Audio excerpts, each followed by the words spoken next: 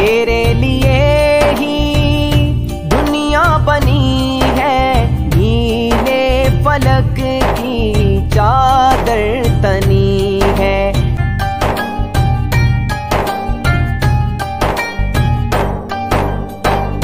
कदमों में तेरे अरशे बरी है।